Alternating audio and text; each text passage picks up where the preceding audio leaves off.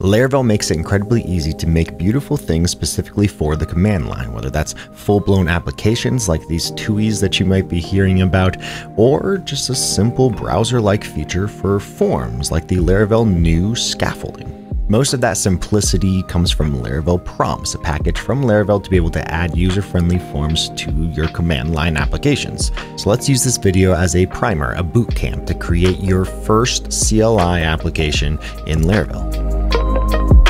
All right, let me pose for you the problem that we'll be solving as we build our first CLI app together within Laravel. In most applications, you probably have some things that you do semi-frequently as a developer where you interact with the database, whether that's through something like TablePlus or even PHP Artisan Tinker things that you might not have just had the time to implement and or expose to your users or maybe you just don't want to be exposed to your users so in this application, I have about 100 users and each user has, let's say, uh, anywhere between 50 to 200 different posts for each user. And those posts can be archived or not archived. We have this is archived column and maybe users write in and they say, hey, my archived posts, I just need to delete them all. And since it happens semi-frequently, this would be the perfect opportunity to learn how to use Laravel prompts and make this a little bit more cleaner when I need to do what I need to do. For example, in my SQL query, we could select the ID, title, content, published as archived from posts, and we would just paste in the user ID here. Or maybe I'm doing this in PHP Artisan Tinker. But let's say down the line, maybe there's things that are associated with these posts that would be a little bit more tedious to do just with SQL. Maybe the posts have individual comments, or maybe you need to run some kind of background job anytime posts are deleted, or maybe you just need to run and send an email once these posts are deleted. You can see here how this would start to build up. What if we needed to run all of this programmatically, but we still wanted it to be fairly simple in order to find the user who we want to delete the archive posts? Like I said initially, Laravel Prompts is a package built by the Laravel team to be able to add beautiful user-friendly forms to your command line applications. It's very similar to building forms in the browser, but you just get all of that with in the command line. If you have ever used the Laravel new command, you probably have seen prompts in action. There's a fair number of available prompts that we can use, and we're not going to be using all of this for our little demo application. We can have text, text area password, confirm, select, multi-select, suggest, search, multi-search, and pause. And each one of these is great for their own individual use cases. So let's go ahead and install it. That's composer require laravel slash prompts. And then why don't we go ahead and make a new command where we can test out some of these prompts. So why don't we just say PHP artisan make command, and we'll go ahead and call this delete archived posts. That sounds good. Any new command is going to be in the app console folder, and we have this delete archived posts command. The make command automatically generates a signature that we can use to call to run this command. In this case, app deleted arc delete archive post. Maybe we'll just for simplicity's sake, we'll just say app posts. And then in the function handle, here's where we can start to use some of these available Laravel prompts for us. Why don't we just start off with a simple text and we'll echo that out just so that we can see how does this look, how does this work, how easy is it. So we can say name equals text, and we'll bring in that Laravel prompts function. And we'll say, what is your name? And then why don't we echo out, and in this case, this info, hello name.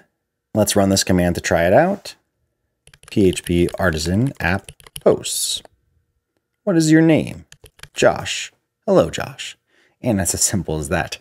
Like I said, you can get super advanced into how these things are being displayed on the screen, but Laravel Prompts makes it easy to get that information and then display information as well. Why don't we first uh, have the ability to search existing users in our prompts. So that way we can select which user we need to delete the posts. So first thing, we need to say the user. Maybe this is where we can say a search. And looking at the documentation, we have the ability to have a label, so a description of what this search is doing, and then some options. And we'll just go ahead and grab this. We'll bring in the user model, and we'll say search for the user to delete posts from. That sounds good. And why don't we just go ahead and echo out that user. Let's try it again. PHP artisan app post, search for the user.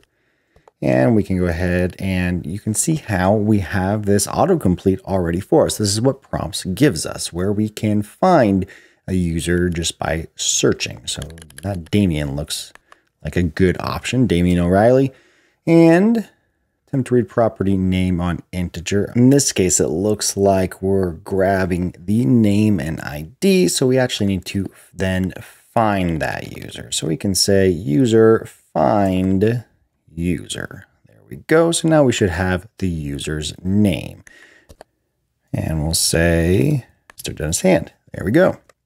Now there's a couple of different options that this search gives. Perhaps we want to first check if the user has posts, because if they don't have posts, then there's nothing to delete. And we could even check one step further. Do they have archive posts? Because we don't want to select them and then find out that they don't actually have archived posts available. And Laravel prompts and the search uh, prompt has the ability to validate this information. So you can see here we have a validate, which has a function, and we can return specific text if that function does pass. In this case, why don't I plop this in here? So user, if user posts count is equal to zero, there are no posts to delete. Okay, I like that. And just to see how this validation works, I'm going to invert it so that we can make sure this fails all of the time. And it should be does not equal. There we go.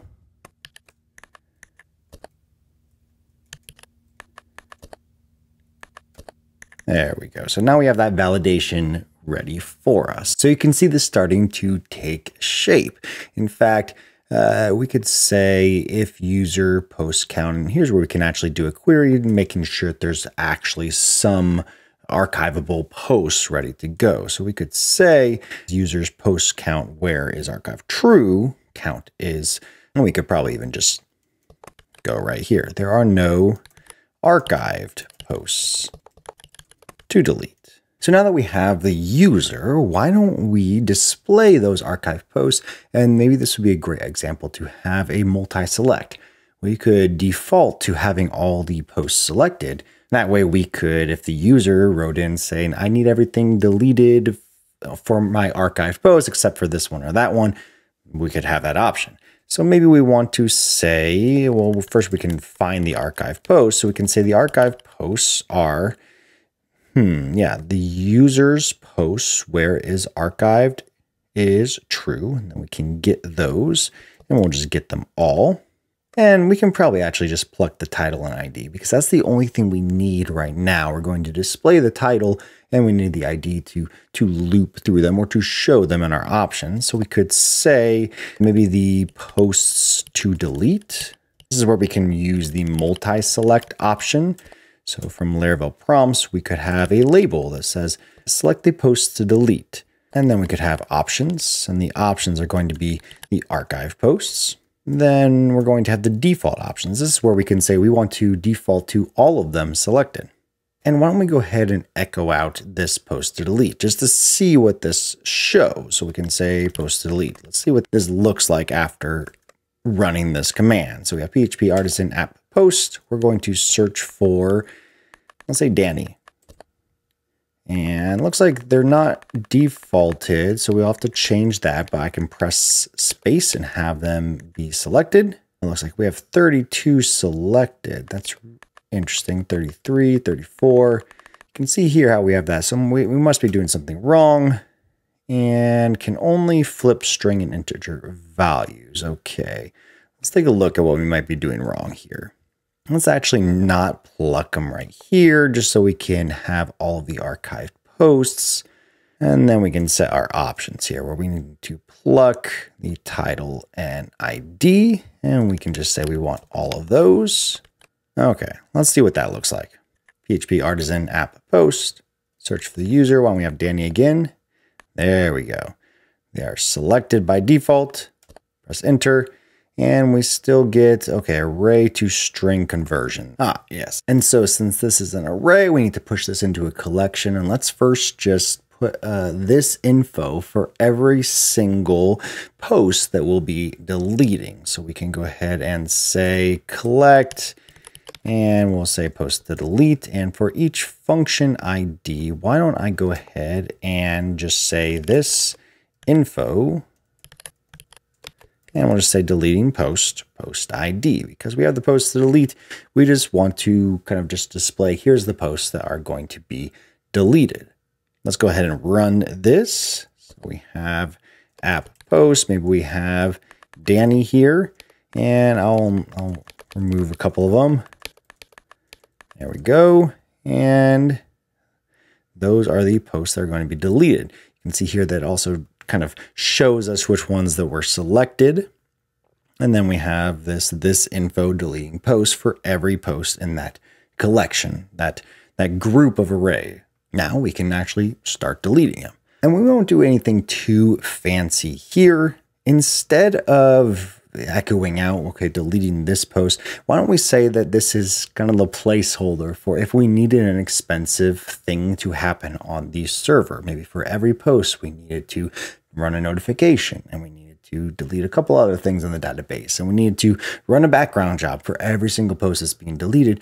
You don't just want that to stall on the command line. And so that is what the spin function is perfect for. We can show a spinner while everything is happening behind the scenes. So maybe we want to wrap that all. So we can have a spin where we can say, and that is from Laravel prompts. So spin Laravel prompts, which accepts a closure callback as well as a string of message. So we can say uh, the message is going to be deleting posts. And this is where we can grab that collect to pass in here. So we're grabbing the posts to delete. For each of them, we can grab the posts and then delete them. And just to kind of signify that this might take longer than it's going to take because it's all local, why don't we first say that we need to sleep for five seconds. Grab that post model, and then we can say that this function is going to use the posts to delete. That way we're passing that into that function callback and we should be good to go. And maybe like after all this happens, we can then say post deleted successfully. Why don't we take a look? PHP artisan app post. Um, yeah, let's say Janessa here. We have 27 posts to delete. Maybe we only want to delete 25. Okay, deleting posts should take about five seconds. And it looks like it did not show us that info. And yeah, that's because I am in the callback function, and so I can't use this info here. We would just put this either outside of that callback, or we could just put it a little bit lower in the command handle. Why don't we take a look now? PHP artisan app post uh, Valentine. Deleting posts. Post deleted successfully. And yeah, this only touches on a small, small, small subset of what Laravel prompts has to offer and what building command line applications has to offer within the Laravel ecosystem. Even if it starts with what we just did, replacing a tedious task with a command line interface application, all of a sudden you have possibilities that are endless with what you might do in your day-to-day basis, especially that Laravel gives you the answer with Laravel prompts. So hopefully that gives you a little idea of what you might want to replace your workflow with a command line interface application.